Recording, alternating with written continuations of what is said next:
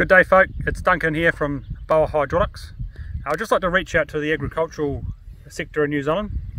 Um, been working with a lot of rural contractors and farmers over the past few months and we're giving them some pretty serious savings in hydraulic hose repairs.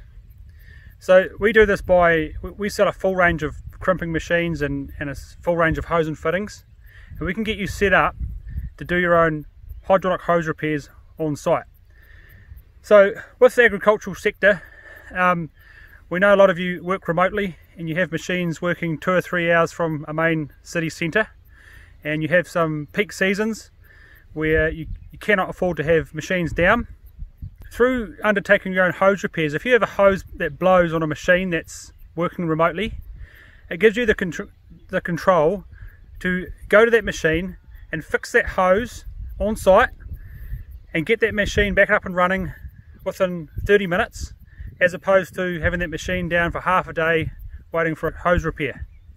So we've got a really good mobile hose press. Um, this is capable of one inch hose. So you can either have this in your workshop, otherwise you can take it mobile and take it out to the machines. We've developed a really comprehensive stock package to suit the agricultural sector.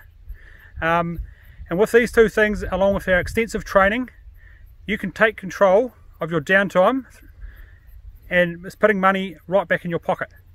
So give us a call today if you're interested and we will get in touch and tailor a package to suit your needs.